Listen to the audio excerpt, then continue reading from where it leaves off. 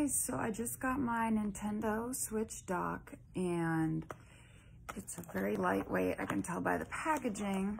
This is my first time opening it, so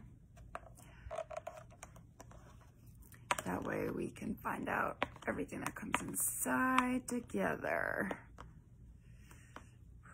Probably should have cut the tape first.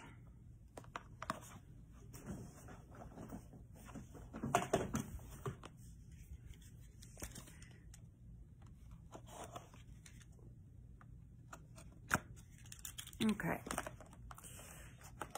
So,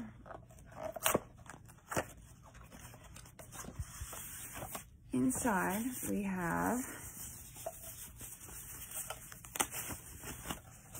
our dock, which is incredibly, incredibly lightweight. It is a plastic. You can see you have the port right in the center and these two notches to help hold and support. And then actually you have two USB ports in the front, which will definitely come in handy. And then the TV pad switch button right there. Then on the back, we have the AC adapter port, another USB port, and HDMI output.